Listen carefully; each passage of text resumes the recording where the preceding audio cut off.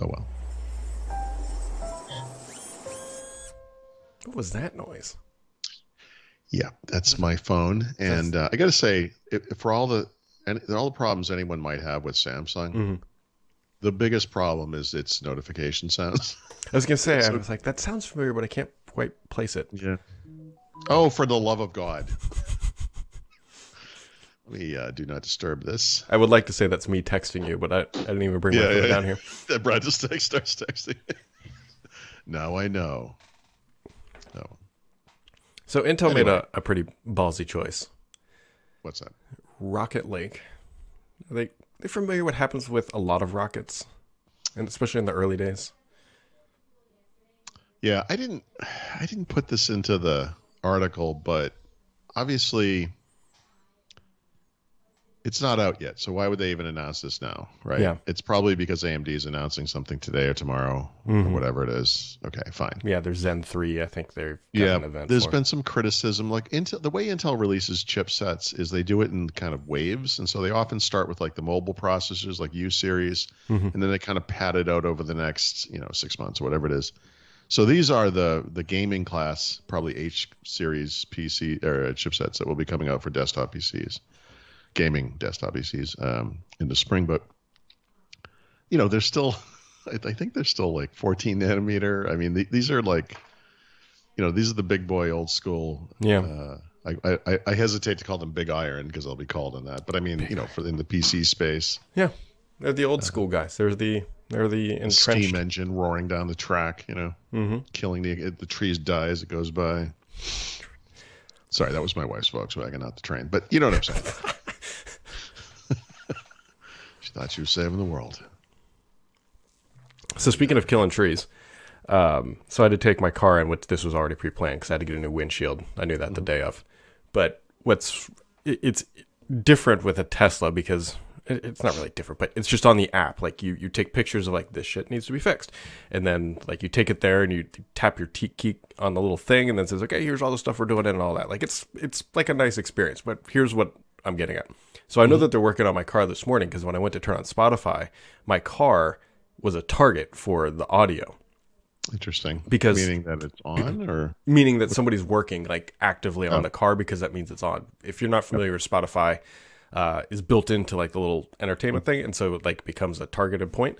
So I thought about just like playing some music for these guys. that's what I was gonna say. Like you know, like upload a recording of your voice. Just- hey, buddy. Be gentle. gloves back on and be careful. Yeah. Okay. So, anyways, you know, killing trees and all that. Um, Sure.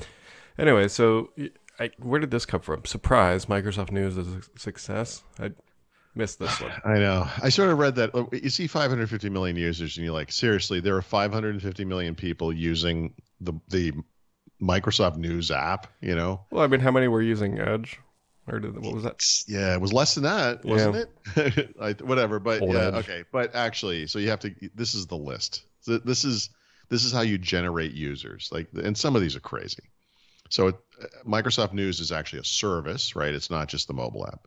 So these stories, which you know are curated and they do whatever Mhm. they do, come from MSN, Bing News, Microsoft Edge, probably the homepage Yeah. you know, when you have news things, uh, Microsoft Launcher, the Windows lock screen, the uh, the Windows lock screen.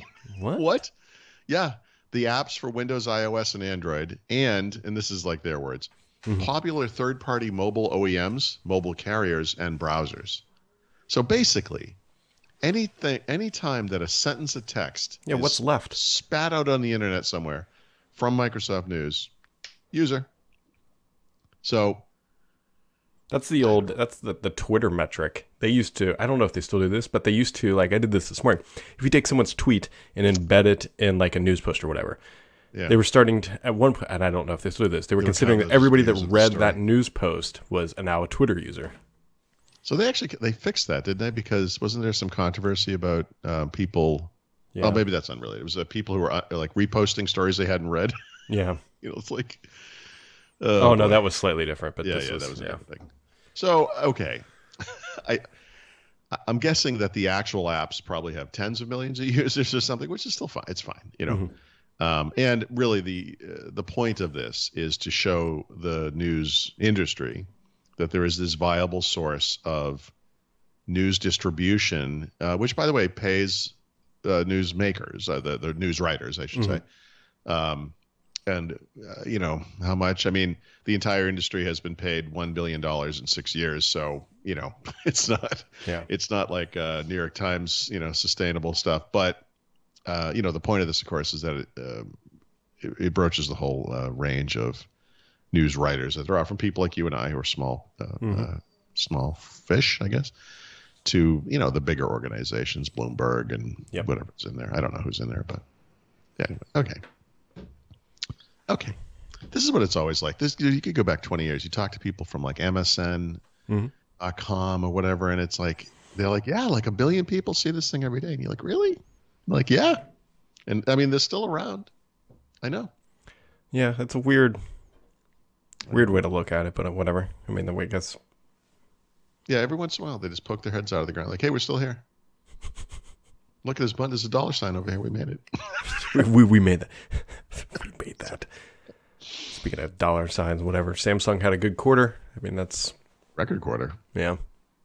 Sold some sold We'll some see. stuff. I don't know if you're familiar with Samsung, how they report this. It's a, I think it's a South Korean legal thing, but um, they actually do an estimate of their quarterly earnings the week before the official announcement, and Hmm. that estimate is just profits and revenues, and it's always right, you know, because the es- the range is there's some range that's very close, you know, very short range, and they they estimate it right in the middle, and so next week they'll say the real thing, but the important thing for next week is we're actually going to get some numbers, not just profits and revenues, but how the different business units. but we'll see.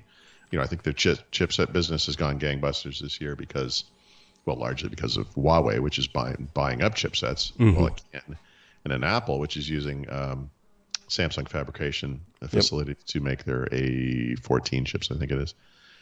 Uh, but they're probably the number one uh, smartphone maker in the world again, right? And briefly, it was Huawei, but I think we all understand that's not gonna that's not gonna last. So Is the A14 the new one that's going to be in the iPhone?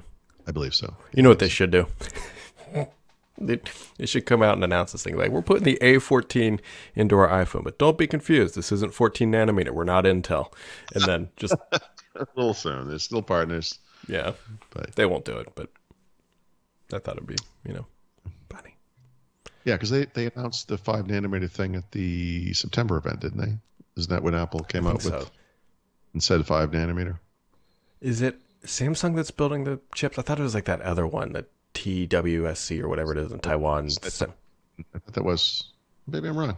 I, I could be wrong. I think Greg. Samsung might be doing. I don't know. Like it's so hard to keep track of. Now I have to fact check that. Thanks, buddy. Mhm. Yeah, Thanks. you know what? I'm so sure of myself. And Why don't I have the Jeopardy music pl- program on this thing? Because that would be. God damn it. I think it is the new Taiwan semiconductor company. TSMC. But I think Samsung does have a part because they were building Uh, something. I might be the displays. I don't know. Why? I mean, all you got to do is guess. It's either Samsung, LG, No, it is Foxconn. TSMC. You're right, bastard. No, Suck it, Barack. Yep, yeah, you're right. I, I gotta fix this. Uh, and other other news, there was a very weird um, PS5 teardown by Sony itself. They didn't give it to a third party. Yeah. Yeah, Um, yeah. The one thing I took out, I mean, there's they showed how you upgrade the internal storage, which there's a whole like grand hoopla about like, well, it's so much easier on the whatever Sony because it's whatever just an M.2 drive. But I think everyone forgets it has to be a Sony, I think, certified M.2 drive. So we don't even know what those things are going to cost. But anyways, the one takeaway, if you haven't looked at it yet, go look at the heat sink in this thing. It is the size of Texas.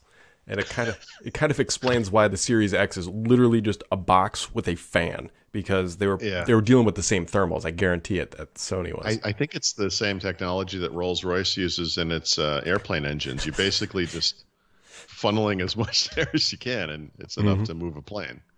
Um, but I, I, you probably saw this. So, someone reported that they burned their hand just touching an Xbox Series X. It was so hot. I haven't I have not seen that. That'll be there's no way. I mean, I don't know. Well, Ma- maybe mean, there is. look, Who knows? Cooling is the issue here, right? Yeah, and AMD is not exactly known for running like the coolest chipsets on the planet. And Microsoft's not exactly uh, the holder of a proud tradition of, you know, doing these things right on the first gen. I mean, Yeah. I don't know. Anywho, we'll see. We'll see. But Yeah. Yeah, both these things are going to run really hot. I mean, unless they're, you know, I'm surprised that no one did liquid cooling, honestly. Well, Sony's kind of well, it has the same thing I, th- I think as cooling system or something. it's like the liquid metal cooling stuff, but I but didn't like the 950 Lumia 950 have mm-hmm. something like that? Yeah, vapor chamber thing. Yep. So yeah, Yes, it did. yet again, Sony copying Microsoft, technically Nokia. Right.